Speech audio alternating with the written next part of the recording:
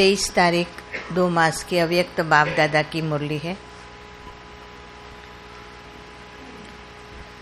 और मुरली का विषय है पुराना संसार और पुराना संस्कार भुलाने का उपाय। पुराना संसार और पुराने संस्कार भुलाने का उपाय। उपाय बाबा ने बताया हुआ है। क्या बताया होगा? उपाय है नशा। निश्चय और निश्चय का फल नशा। तो आज पूरा नशे के ऊपर मुरली है। बाबा ने चार प्रकार के नशे बताए हैं। जानते हैं सभी, परंतु बाबा कहते प्रैक्टिकल में, प्रैक्टिकल जीवन में लाना है। जीवन में लाएँगे तो संस्कार का परिवर्तन होगा। बाप दादा सभी निश्चय बुद्धि बच्चों के निश्चय का, प्रत्यक्ष जीवन का स्वरूप देख रहे हैं। निश्चय बुद्धि की विशेषताएँ सभी ने सुनी, लास्ट मुरली में, है ना? निश्चय बुद्धि की विशेषताएँ थी। सबने स्टडी किया था घर जाके? पंद्रह थी। लास्ट में समराइज कराना मैं भूल गई थी, पर पंद्रह थी, मैंने अंडरलाइन किया था सभी मूल्य के अंदर। ऐसा विशेषताओं संपन्न निश्चय बुद्धि, विजयी रतन, इस ब्राह्मण जीवन व पुरुषोत्तम संगम युगी जीवन में सदा निश्चय का प्रमाण, वो नशे में होगा। निश्चय का प्रमाण है नशा। रूहानी नशा निश्चय का दर्पण स्वरूप है। रूहानी नशा, आत्मिक नशा। निश्चय सिर्फ़ बुद्धि में स्मृति तक नहीं, लेकिन हर कदम में, रूहानी नशे के रूप में, कर्म द्वारा प्रत्यक्ष स्वरूप में, स्वयं को भी अनुभव होता और औरों को भी अनुभव होता। क्योंकि ये ज्ञानी और योगी जीवन है। सिर्फ़ सुनने सुनाने तक नहीं, जीवन बनाने का है। जीवन में स्मृति अर्थात संकल्प, बोल, कर्म और संबंध सब आ जाता है। संकल्प, बोल, कर्म और संबंध अर्थात व्यवहार। निश्चय बुद्धि अर्थात नशे का जीवन। ऐसे रूहानी नशे वाली आत्मा का हर संकल्प सदा नशे से संपन्न होगा। नशा अर्थात वातावरण बना हुआ होता है। वाइब्रेशंस बने हुए होते हैं।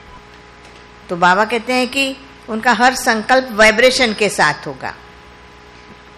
संकल्प, बोल और कर्म तीनों से निश्चय का नशा अनुभव होगा। बाबा फिर कहते हैं, जैसा नशा, वैसे खुशी की झलक चेहरे से चलन से प्रत्यक्ष होंगी। निश्चय का प्रमाण नशा और नशे का प्रमाण खुशी। वो खुद को तो महसूस होगी, पर सामने वाले को भी होगी कि क्या है आज, आप बहुत खुश नज़र आ रहे हैं। वो कितना भी छिपाने की कोशिश करेंगे तो भी सामने वाले को पता चल जाए, क्यों, आज क्या है। आप बहुत खुश नज़र आ रहे हैं। निश्चय का प्रमाण नशा और नशे का प्रमाण है खुशी। नशे कितने प्रकार के हैं, इसका विस्तार बहुत बड़ा है।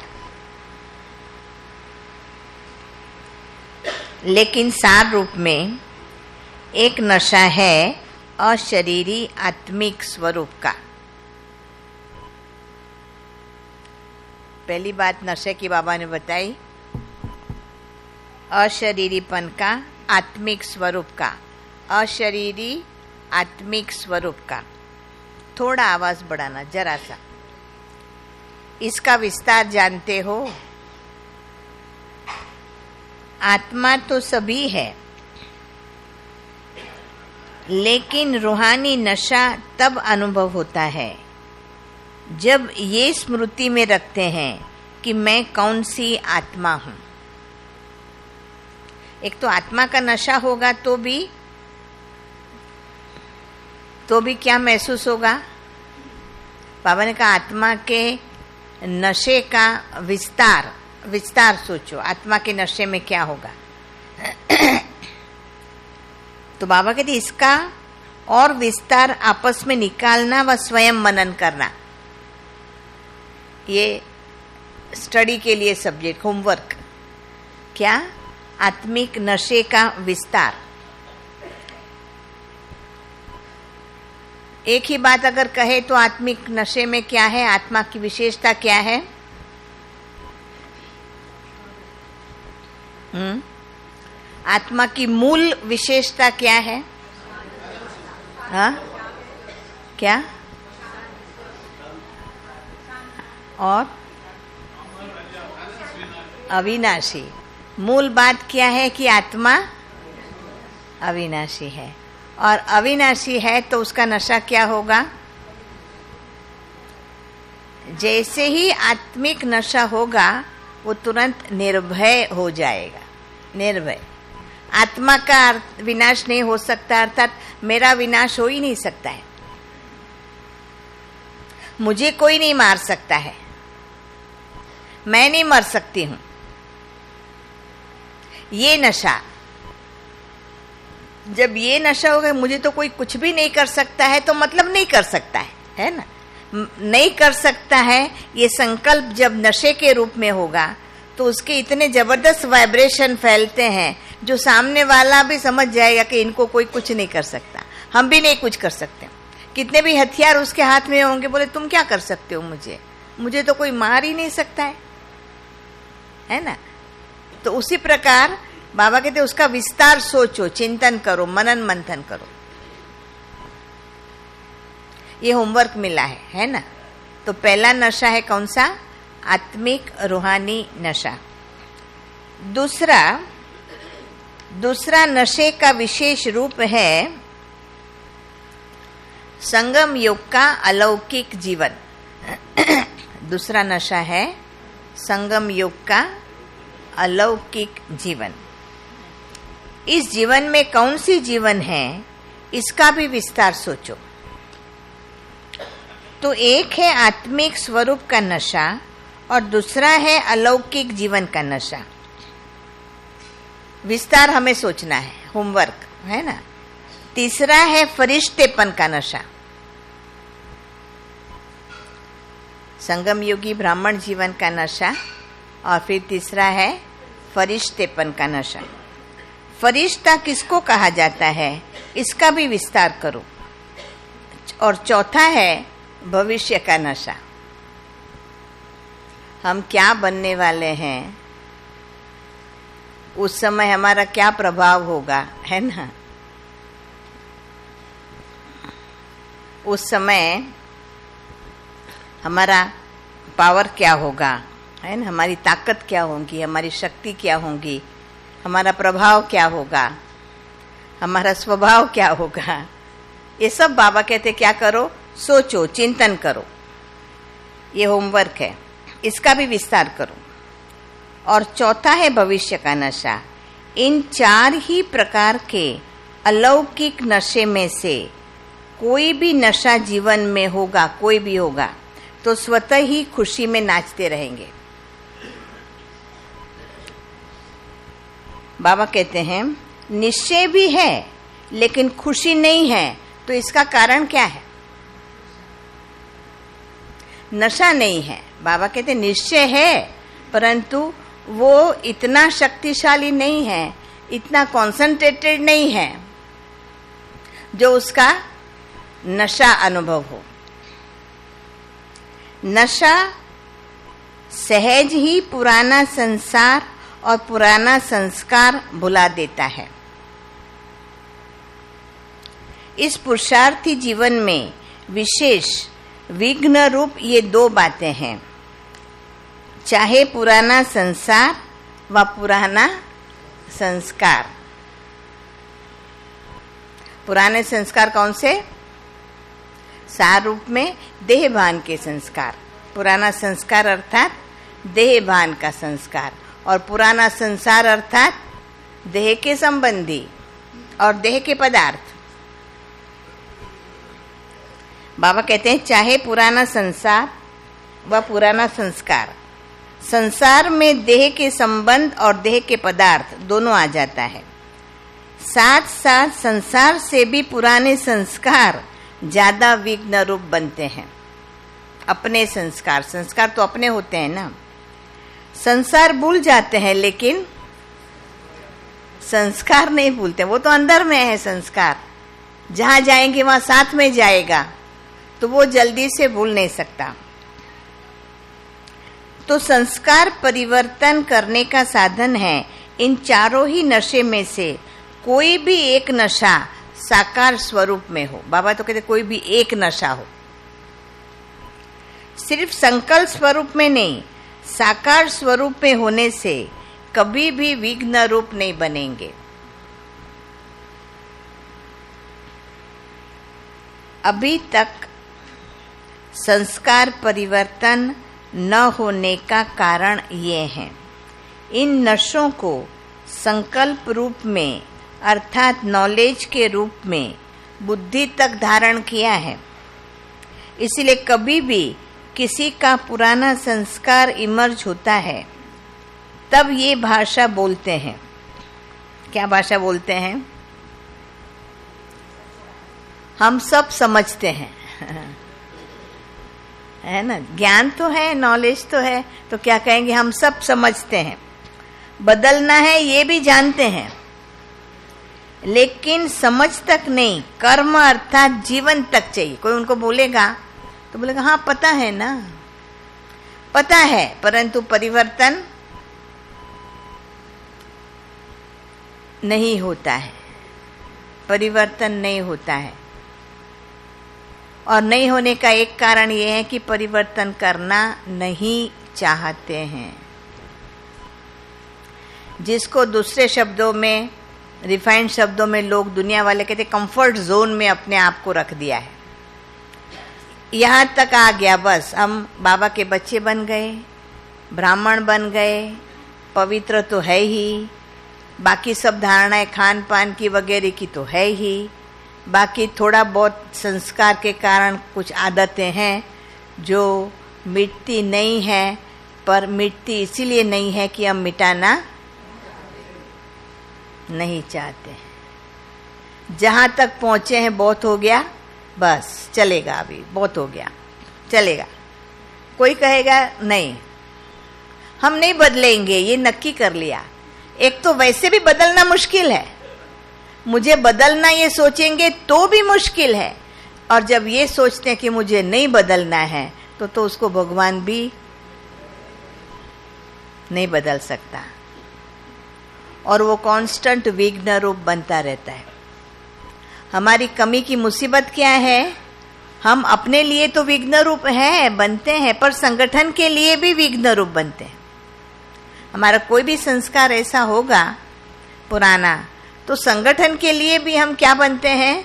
विघ्न रूप बन जाते हैं। तो बाबा कहते, समझ तक नहीं, कर्म अर्थात जीवन तक चाहिए।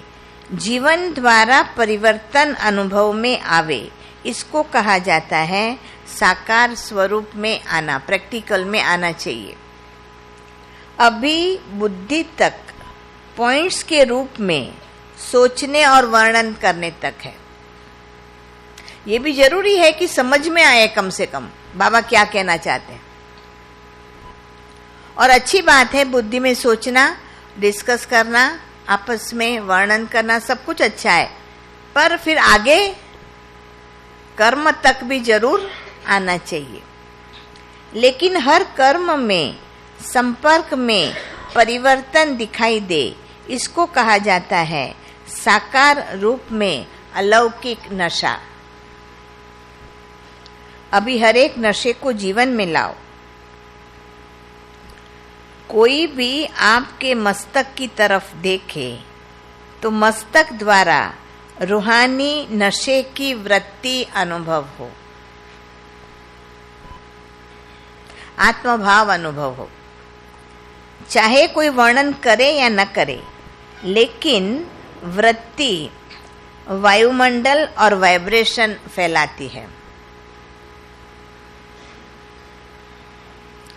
आपकी वृत्ति दूसरे को भी, बाबा कहते हैं, आपकी वृत्ति होंगी, वो दूसरे को भी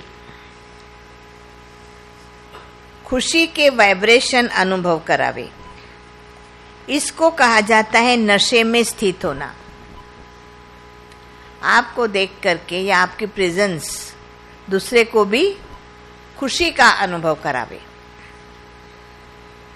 ऐसे ही दृष्टि से, मुख की मुस्कान से, मुख के बोल से, रूहानी नशे का साकार रूप अनुभव हो।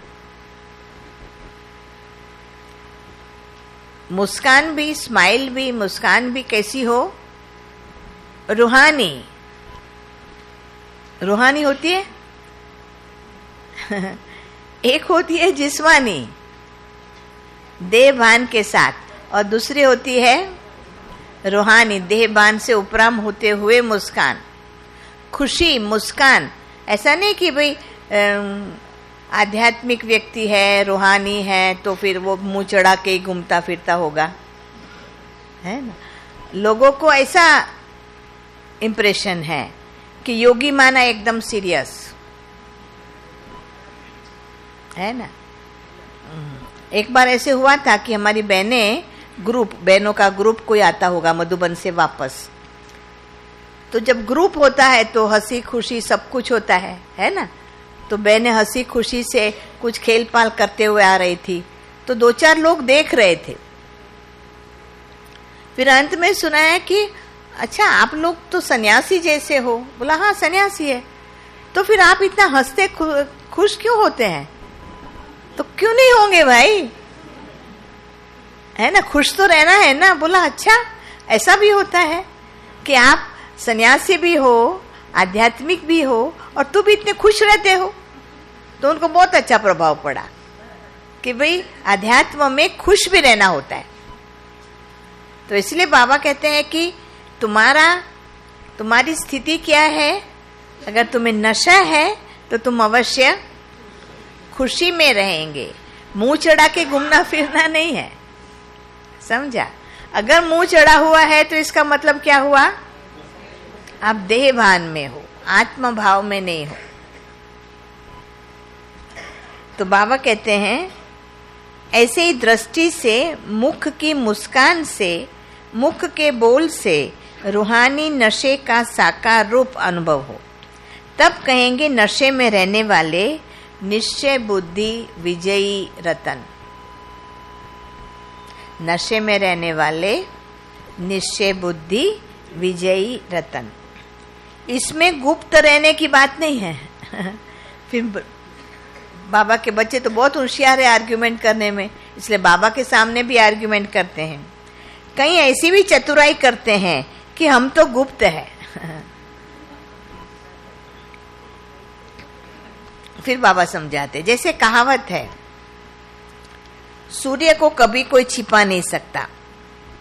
कितने भी गहरे बादल हो, फिर भी सूर्य अपना प्रकाश नहीं छोड़ता। सूर्य हटता है, वह बादल हटते हैं। बादल आते भी हैं और हट भी जाते हैं। लेकिन सूर्य तो अपने प्रकाश स्वरूप में ही स्थित होता है। वो अपना प्रकाश नहीं छोड़ता है। कि इतने बादल आ गए तो बेचारा फीका पड़ गया। ऐसा नहीं होता है है ना? सूर्य के आजू बाजू अंधेरा छा गया, ऐसा होता है। कभी हो ही नहीं सकता है। तो रूहानी नशे वाला भी रूहानी झलक से छिप नहीं सकता। उसके रूहानी नशे की झलक प्रत्यक्ष रूप में अनुभव अवश्य होती है। उनके वाइब्रेशन स्वतः ही औरों को आकर्षित करते हैं। रूहानी नशे में रहने वाले के वाइब्रेशन स्वयं के प्रति व औरों के प्रति छत्र छाया का कार्य करते हैं।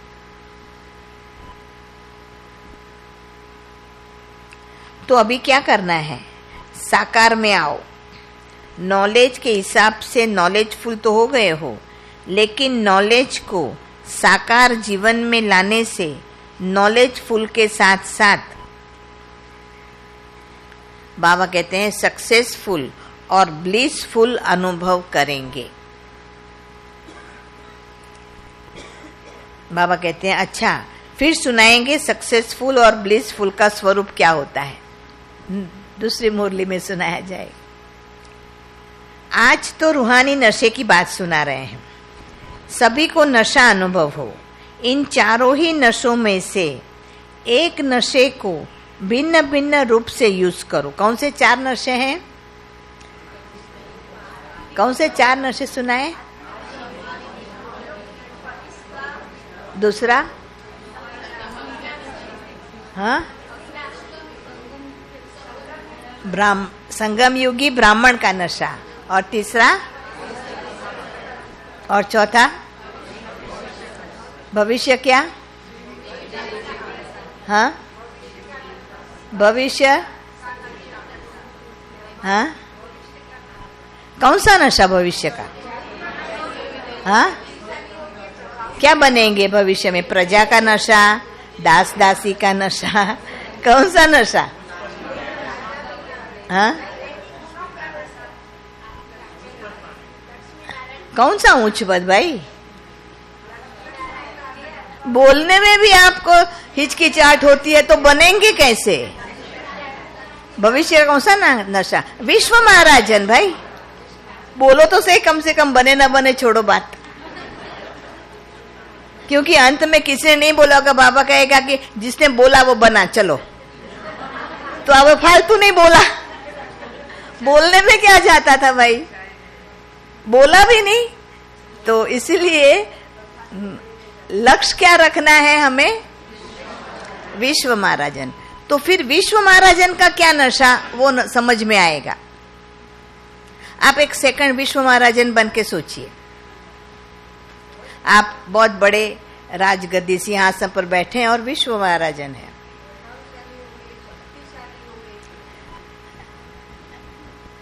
सारा विश्व तुम्हारे कहने पर होगा, ये बहुत इंपॉर्टेंट बात है। सारा विश्व आपके मतलब आप जो सोचेंगे वही होगा। चाहे यहाँ नज़दीक या विश्व के कोई कोने में, चाहे यहाँ या विश्व के कोई कोने में, आपके अनुसार सब कुछ चलेगा। ये ये प्रभाव की बात है, ये नशे की बात है। सोचिए तो सही कि सब कुछ अपने अनुसार, आपके अनुसार चलेगा। तो वो सोचना है भविष्य का नशा। तो चार नशे बताए, एक रूहानी आत्मिक नशा, जो हमें जो हमें निर्भय बनाता है, निडर बनाता है। कोई हमें कुछ भी कर नहीं सकता। दूसरी बात, संगम योगी ब्राह्मण का नशा। हम ऊंचते ऊंच है। देवताओं से भी ऊंच है। हम भगवान के साथी है। मुझे याद आ रहा है एक बात जो बाबा ने परसों मुरली में कहा था कि मैं भीख मांग रहा हूँ। भगवान जिससे भीख माँगता है, इतने बड़े हैं हम। तीसरा, फरिश्तेपन का नशा। फरिश्ता ऐसा है जो सारे विश्व की सभी आत्माओं को हेल्प करता है। सदा सबके साथ है। कोई कभी भी बुलाए, वो उनकी सेवा में हाजिर हो जाता है। और चौथा भविष्य का नशा जो बताया बाबा ने। बाबा कहते, जितना इस नशे को जीवन में अनुभव करेंगे तो सदा सभी फिकर से फारिग, बेफिकर बादशाह बन जाएँगे। सभी आपको बेफिकर बादशाह के रूप में देखेंगे। खाली बनेंगे ऐसा नहीं, परंतु सभी देखेंगे। तो अब विस्तार निकालना व प्रैक्टिकल में लाना। जहाँ खुशी है, वहाँ माया की कोई भी चाल चल नहीं सकती है।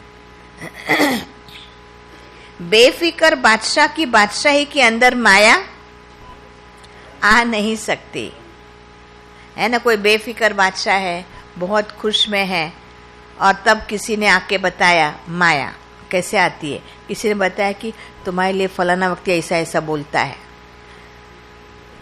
कोई बात नहीं, छोड़ो। आप चिंता मत करो, कोई बात नहीं। तो माया उसमें प्रवेश कर ही नहीं सकते। तुम नशे में हो, तुम खुश में हो, फिर दुनिया क्या भी कहे, उनको कोई पड़ी हुई होंगी नहीं। तो बाबा कहते, माया अंदर आ नहीं सकती। आती है और भगाते हो, फिर आती, फिर भगाते हो, नहीं। कभी देह के रूप में आती है, कभी देह के संबंध के रूप में आती है।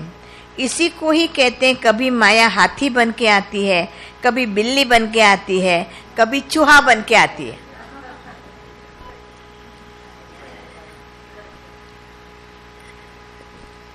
तो कैसे आनी चाहिए?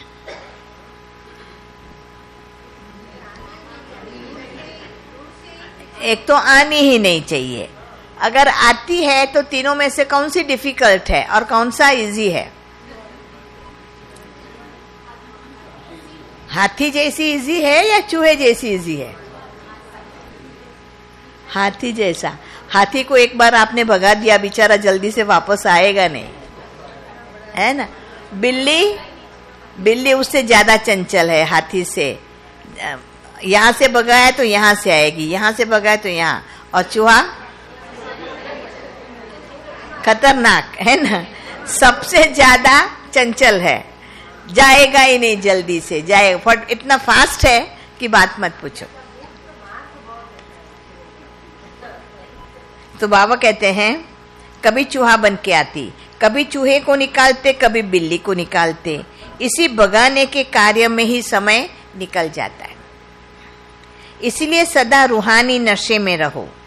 पहले स्वयं को प्रत्यक्ष करो। पहले स्वयं को प्रत्यक्ष करो, तब बाप की प्रत्यक्षता करेंगे।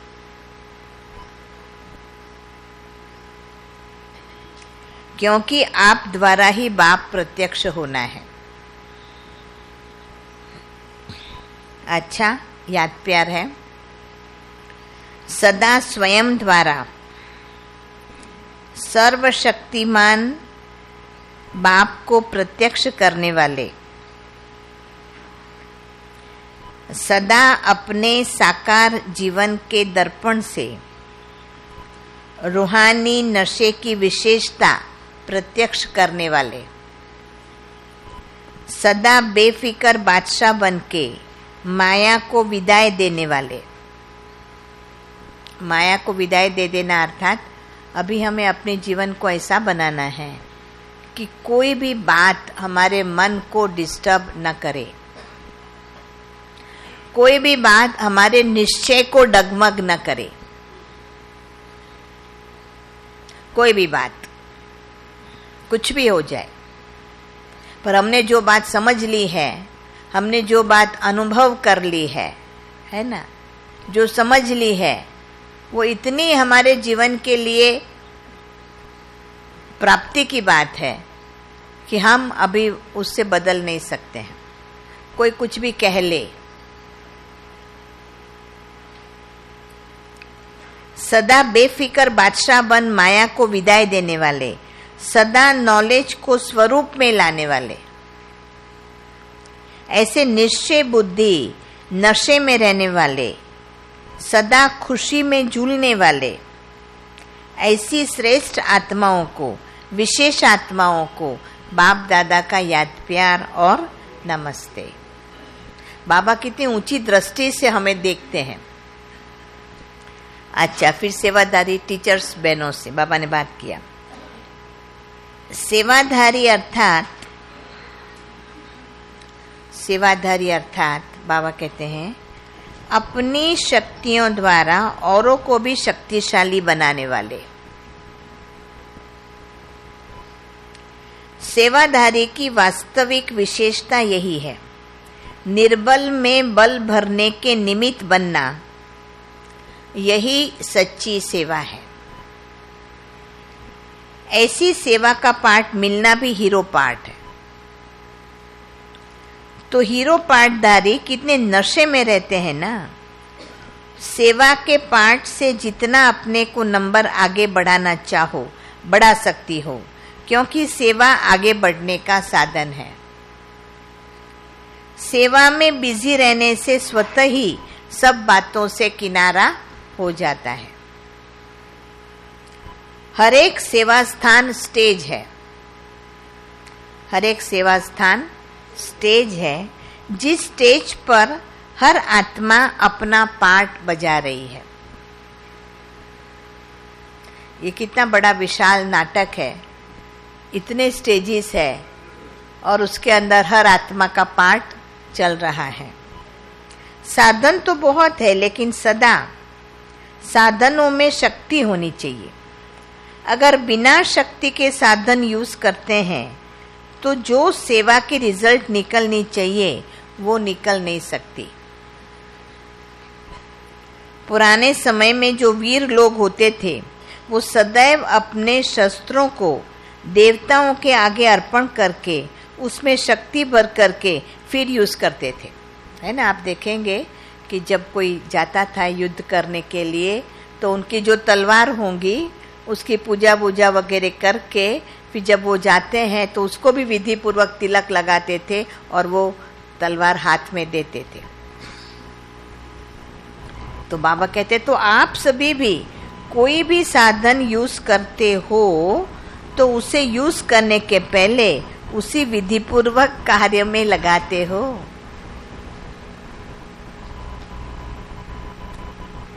अभी जो भी साधन कार्य में लगाते हो,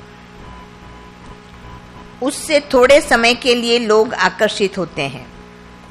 सदाकाल के लिए प्रभावित नहीं होते हैं, क्योंकि इतनी शक्तिशाली आत्माएँ जो शक्ति द्वारा परिवर्तन करके दिखाएँ, वो नंबरवार है।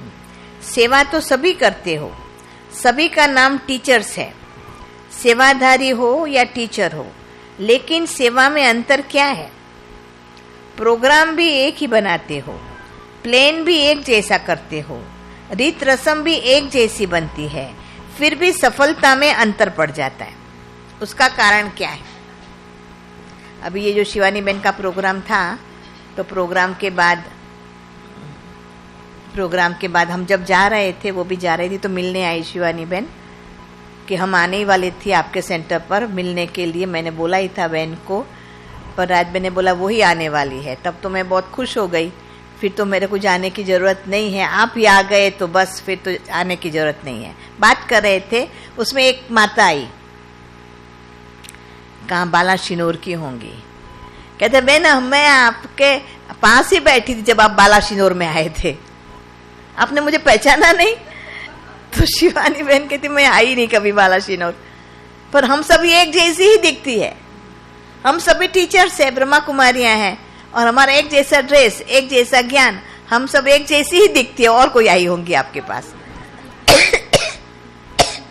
तो सभी एक जैसी है, पर सफलता में सफलता में अंतर है।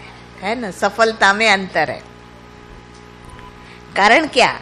शक्ति की कमी तो साधन में शक्ति भरो जैसे तलवार में अगर जौहर नहीं हो तो तलवार तलवार का काम नहीं देती। ऐसे साधन है तलवार, लेकिन उसमें शक्ति का जौहर चाहिए। वो जितना अपने में भरते जाएँगे, उतना सेवा में स्वतः ही सफलता मिलती रहेगी। तो शक्तिशाली सेवादारी बनो। सेवादारी तो हो, बाबा कहते, परंतु क्या बनो? शक्तिशाली सेवाधारी बनो। सदा विधि द्वारा वृद्धि को प्राप्त होना, ये भी कोई बड़ी बात नहीं है, लेकिन शक्तिशाली आत्माएँ वृद्धि को प्राप्त हो, इसका विशेष अटेंशन बाबा कहते हैं, सेवा में भी क्या करो? क्वालिटी निकालो। क्वालिटी आत्माएँ निकालो। क्वांटिटी तो और भी ज़्यादा आएगी। परंतु क्वालिटी के ऊपर विशेष अटेंशन जो आने वाले भी पूरे निश्चय बुद्धि हो, है ना? वो भी नशे वाले हो. नंबर क्वालिटी के पर मिलेगा क्वांटिटी के पर नहीं. एक क्वालिटी वाला सौ क्वांटिटी के बराबर है. अच्छा फिर बाबा ने कुमारों से बात किया है कुमार, क्या कमाल करते हो? पूछा। फिर क्या कहा होगा? धमाल करने वाले तो नहीं हो ना? कुमार दोनों कर सकता है, कमाल भी कर सकता है और धमाल भी कर सकता है। क्योंकि शक्ति बहुत है ना, ताकत बहुत है, तन की भी और मन की भी। और अभी आजकल तो धन की भी होती है। कमाल करने के लिए शक्तिशाली बनो और बनाओ। जो कमज़ोर है वो धमाल करते हैं और जो शक्तिशाली है वो कमाल करते हैं। शक्तिशाली बनने के लिए सदा अपना मास्टर सर्वशक्तिमान का टाइटल स्मृति में रखो। जहाँ शक्ति होंगी, वहाँ माया से मुक्ति होगी। जितना स्व के पर अटेंशन होगा, उतना ही सेवा में भी अटेंशन जाएगा। अगर स्व के प्रति अटेंशन नहीं तो सेवा में शक्ति नहीं बढ़ती। इसीलिए सदा अपने को सफलता स्वरूप बनाने के लिए शक्तिशाली अभ्यास के साधन बनाने चाहिए। बाबा कहते हैं, कोई ऐसे विशेष प्रोग्राम बनाओ जिससे सदा प्रोग्रेस होती रहे। पहले स्व उन्नति के प्रोग्राम तब सेवा सहज और सफल होंगी। कुमार जीवन भाग्यवान जीवन है, क्योंकि कई बंधनों से बच गए हैं। नहीं तो गृहस्थी जीवन में तो कितने बंधन हैं। तो ऐसे भाग्यवान बनने वाली आत्माएँ कभी अपने भाग्य को भूल तो नहीं जाती है? सदा अपने को श्रेष्ठ भाग्यवान आत्मा समझकर औरों के भी भाग्य की रेखा खींचने वाले हो। कितनी बड़ी ज़िम्मेदारी दिया है। जो निर्बंधन होते हैं, वो स्वतः ही उड़ती कला द्वारा आगे बढ़ते जाते हैं। इसीलिए कुमार और कुमारी जीवन बाप दादा को सदा प्यारी लगती है। गृहस्थी जीवन के बंधन वाली और कुमारी जीवन के बंधन मुक्त तो निर्बंधन आत्मा बन के औरों को भी निर्बंधन बनाओ। कुमार अर्थात सदा सेवा और याद का बैलेंस रखने वाले। बैलेंस है तो सदा उड़ती कला है। जो बैलेंस रखना चाहते हैं वो कभी भी किसी परिस्थिति में नीचे ऊपर नहीं हो सकते। मूल बात यह है। कैसी भी परिस्थिति आवे, परंतु नीचे ऊपर नहीं होना है। फिर अधर कुमारों से, बाबा तो हरेक की विशेषता कहते हैं ना, सभी अपने जीवन के प्रत्यक्ष प्रमाण द्वारा सेवा करने वाले हो ना। गृहस्थ जीवन बाबा के ज्ञान का प्रत्यक्ष प्रमाण है। बहुत बड़ी चैलेंज है, सभी साधु संतों के आगे, सन्यासियों के आगे बड़ा चैलेंज है। सबसे बड़े से बड़ा प्रत्यक्ष प्रमाण है आप सबकी जीवन का परिवर्तन। सुनने वाले और सुनाने वाले तो बहुत देखे। अभी सब देखना चाहते हैं, सुनना नहीं चाहते हैं। तो सदा जब भी कोई कर्म करते हो तो ये लक्ष्य रखो कि जो कर्म हम कर रहे हैं, उसमें ऐसा परिवर्तन हो जो दूसरे देख करके परिवर्तन हो जाए। क्योंकि गृहस्थ में रहते हुए ये सब धारणाएँ करते हैं तो कोई कुछ आर्ग्यूमेंट नहीं कर सकता। नहीं तो लोग कहेंगे कि तुम तो सन्यासी हो, तुमको क्या पता? दुनियादारी क्या है? गृहस्थ जीवन क्या है? आपको क्या पता? पर गृहस्थ को तो कोई बोल नहीं सकता। कहेंगे, हम भी आपके जैसे ही है। हमारा भी घर है, बाहर है, बाल है, बच्चे हैं, सब ज़िम्मेदारी निभाते हैं तो भी हम कर रहे हैं। तो भी सब कुछ कर रहे हैं तो उनको कोई कह नहीं सकता, वो चैलेंज कर सकते हैं। इससे स्वयं भी संतुष्ट और खुश रहेंगे और दूसरों का भी कल्याण करेंगे। तो हर कर्म, बड़ी इंपॉर्टेंट बात बताई, हर कर्म सेवा अर्थ करो। सेवा समझ के करो, है ना? ऑफ़िस में जाते हो तो भी घर में रहते हो तो भी। कोई घर में रहे हैं, गृहस्थ, घर में रहे हैं, बच्चों की सेवा कर रहे हैं तो भी क्या समझना है? क्या समझना है? घर में रहते कैसे सेवा कहेंगे? हाँ? क्या समझना है? घर में भी जो परिवार है वो किसका है? बाबा का परिवार, है ना? अभी हम बाबा के परिवार की सेवा में उपस्थित है। और बाबा का परिवार है तो कैसे सेवा करेंगे? प्यार से। प्यार से से। बाबा के बच्चे हैं ना तो प्यार से सेवा करेंगे। कितने भी तूफानी है, क्या भी है तो भी आप उनको हाथ नहीं लगा सकते, क्योंकि बाबा का परिवार है। है ना? बाबा का बच्चा है और आपने कुछ कर दिया तो मुश्किल हो जाएगी ना।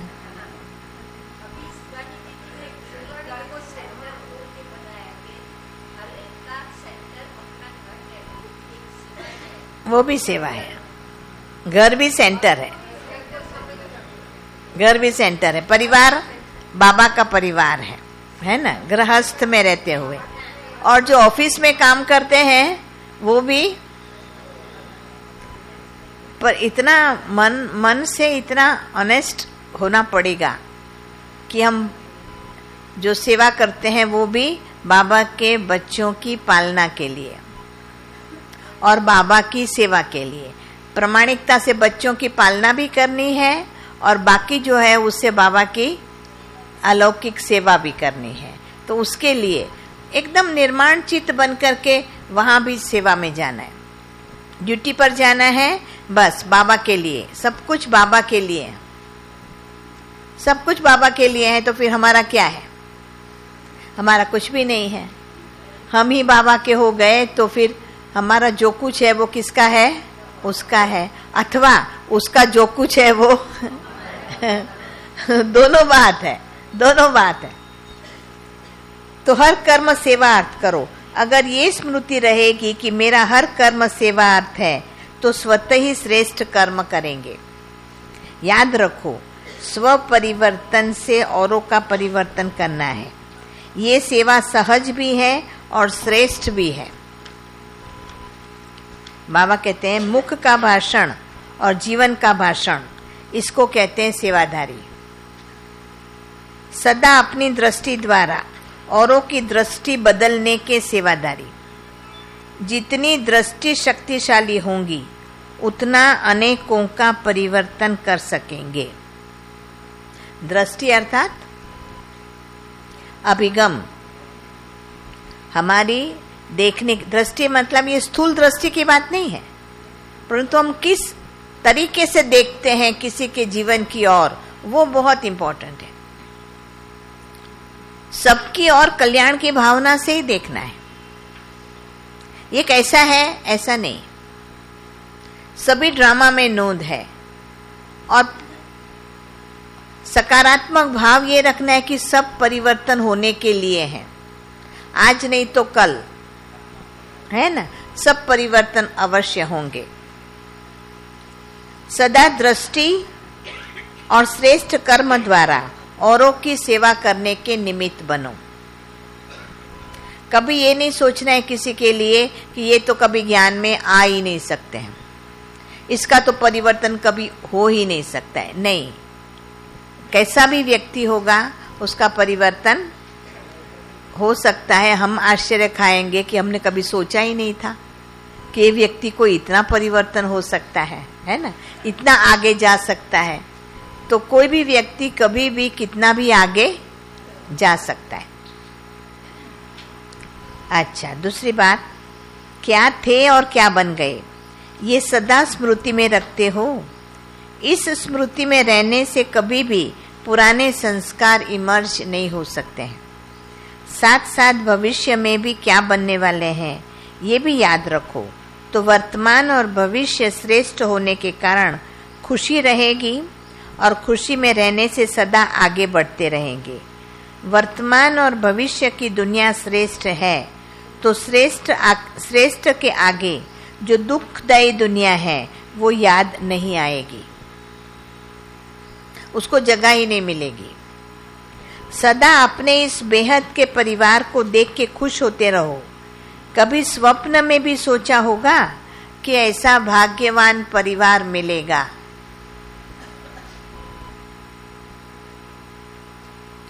लेकिन अभी साकार में देख रहे हो, अनुभव कर रहे हो, ऐसा परिवार जो एक मत परिवार हो, इतना बड़ा परिवार हो, ये सारे कल्प में अभी ही है।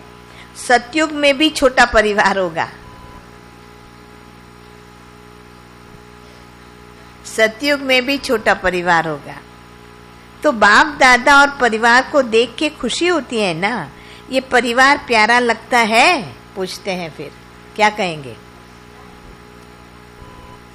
घर गृहस्थ में रहने वालों के साथ बाबा बात कर रहे हैं और फिर पूछ रहे हैं, वो परिवार प्यारा लगता है कि ये परिवार प्यारा लगता है?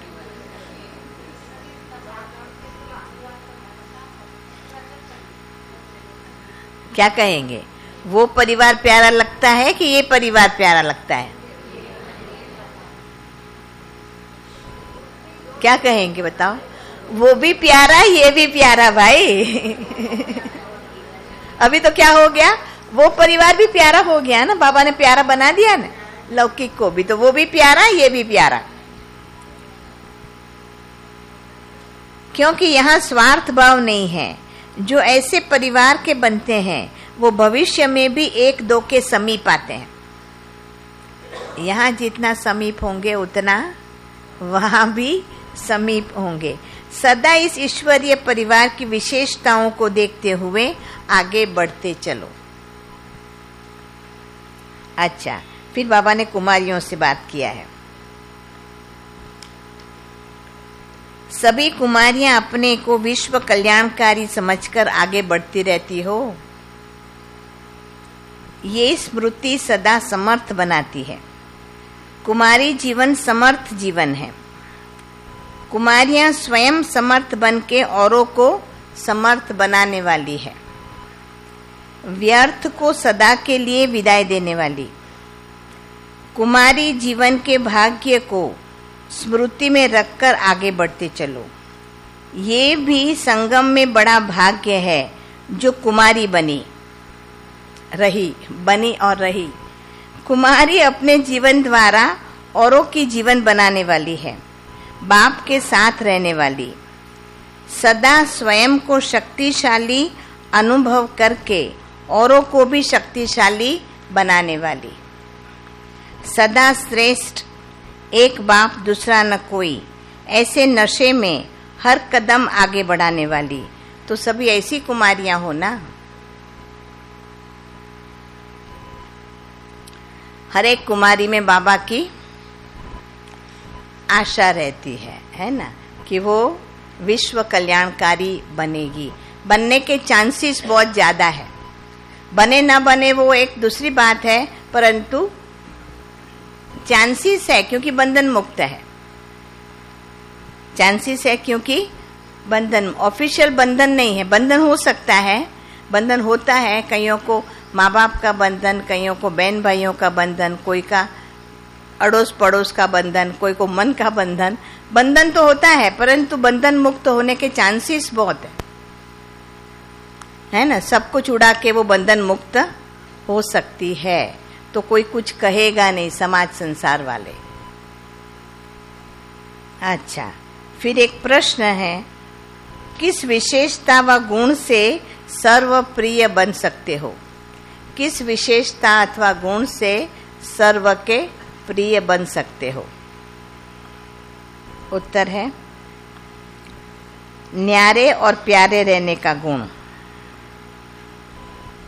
एक है न्यारे और प्यारे रहने का गुण व निसंकल्प रहने की जो विशेषता है। निसंकल्प। किसी बात में बात हो गई फुल स्टॉप उसके बारे में सोचना नहीं है। जो सोचता रहता है, जिसको कोई बात होने से, परिस्थिति आने पर सोचने की बैड हैबिट है, जिसको कहा जाएगा, वो रिएक्ट करेगा हमेशा। क्योंकि याद रखता है तो रिएक्ट करता है, बदला लेता है। बदला लेना कोई बहुत बड़ी बात की बात नहीं है, परंतु किसी ने कुछ बोला तो फिर उसके साथ बात नहीं करेंगे, ये भी बदला लेना हुआ उसके कार्य में सहयोगी नहीं बनेंगे तो बदला लेना हुआ है ना? तो इसलिए बाबा कहते हैं निरसंकल्प, न्यारा और प्यारा और निरसंकल्प। इसी विशेषता से सर्व के प्रिय बन सकते हैं।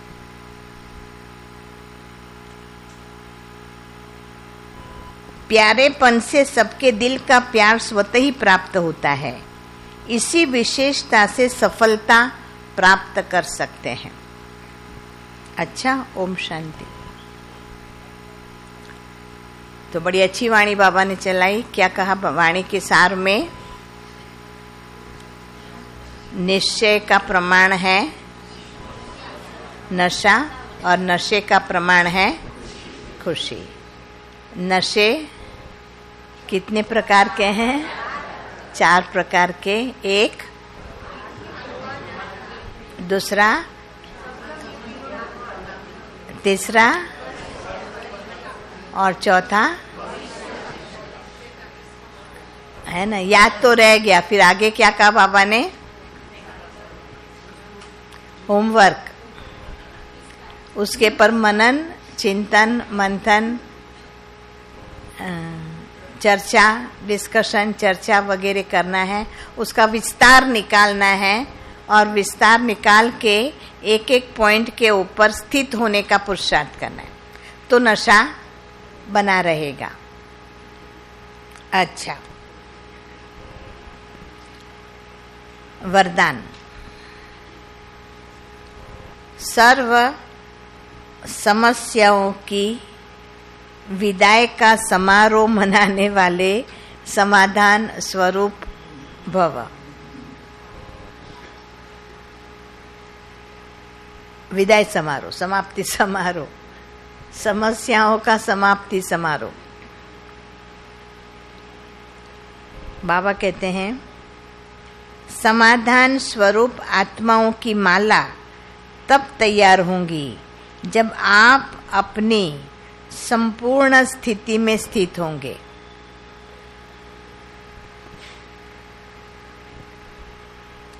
संपूर्ण स्थिति में समस्याएँ, बचपन का खेल अनुभव होती है। अर्थात समाप्त हो जाती है। जैसे ब्रह्मा बाप के सामने यदि कोई बच्चा समस्या लेकर आता था तो समस्या की बातें बोलने की हिम्मत भी नहीं होती थी। कि इसको हम समस्या कहते हैं? ये तो कुछ भी नहीं है। बाबा के आगे जाके ऐसा अनुभव होता था। ये तो कुछ भी नहीं है। इसमें क्या समझ कि समझो बाबा के पास कोई समस्या लेके जाएगा कि बाबा, इसने मुझे ऐसा ऐसा बोल दिया। फिर जब बाबा के पास जाएगा तो अच्छा बोला तो क्या हुआ? मैं ये लेके क्यों आया बाबा के पास? है ना? किसी ने बोला तो क्या हो गया? मुझे, मेरा क्या बिगड़ गया? तो बाबा के पास जाएगा तो समस्या अपने आप खत्म हो जाती है। ऐसे आप बच्चे भी समाधान स्वरूप बनो। तो आधा कल्प के लिए समस्याओं का विदाई समारोह हो जाएगा। विश्व की समस्याओं का समाधान ही परिवर्तन है। छोटी छोटी बातें होती है, पर वो जब समस्या के रूप में हम लेते हैं तो बहुत बड़ी हो जाती है। बात बड़ी नहीं होती है, पर हम उसको कैसे लेते हैं, उसमें अंतर आ जाता है। कई लोग जैसे कहते हैं को पहाड़ बना लेते हैं, और कहीं फिर पहाड़ को राई, कुछ नहीं, कोई बात नहीं। कोई बात नहीं, कह दिया फुल स्टॉप लगा दिया, पहाड़ की राई बन गई। पर क्यों कहा? ऐसे कहा क्या? ऐसा तो नहीं कहना चाहिए ना तो वो राई का पहाड़ बन जाएगा। अच्छा स्लोगन है, जो सदा ज्ञान का सिमिरण करते हैं, वे माया की आकर्षण से बच जाते हैं। जो सदा ज्ञान का सिमिरण करते हैं। ज्ञान बुद्धि में चलता रहेगा तो माया के आकर्षण से बच जाते हैं। ओम शांति।